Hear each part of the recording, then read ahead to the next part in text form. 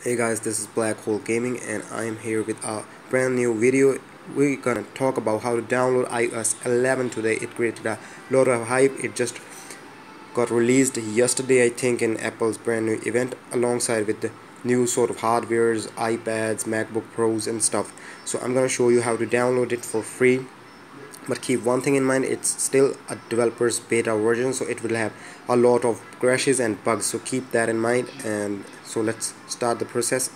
As I'm going to show you there's general software up there and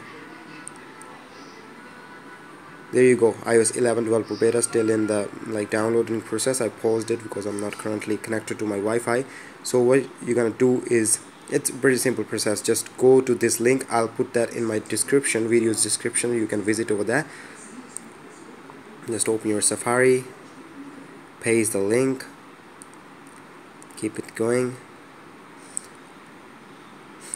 And there you go. It will redirect to your profile thing and just install it. I already have it installed and once you will install the profile it will ask you to restart your phone. Just complete the restart process and after that just normally as any normal update visit your settings page and general software update and it will sh automatically show iOS 11 in the downloading process over here.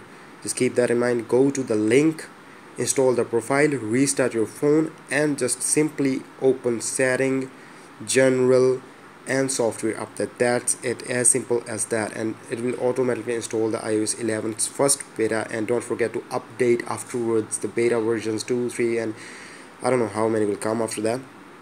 So hopefully this video is helpful for you. And so please do like subscribe and share. Peace